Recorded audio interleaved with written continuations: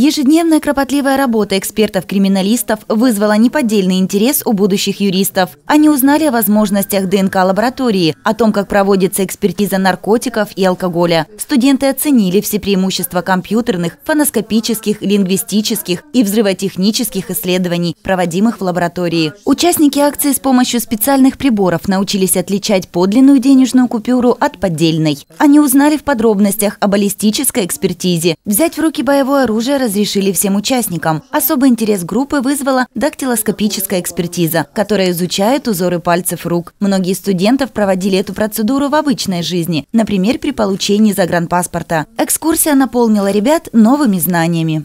Я узнала, как раскрывают преступления, как очень просто по, там, по маленькой микрочастице частицы определить, там очень много распознать картину. Узнала то, что телефоны, которые там давно, может быть, там разбиты, и по ним тоже можно все выяснить, это все восстановить. Но это на самом деле интересно. Это непередаваемо, это надо реально попробовать. В целом стажировка была насыщенной и познавательной. Участники студдесанта оценили предоставленную возможность узнать все секреты работы экспертов-криминалистов. И, возможно, в будущем кто-то из них выберет именно эту специальность. Виолетта Ефименко, Светлана Разганова, Десна ТВ.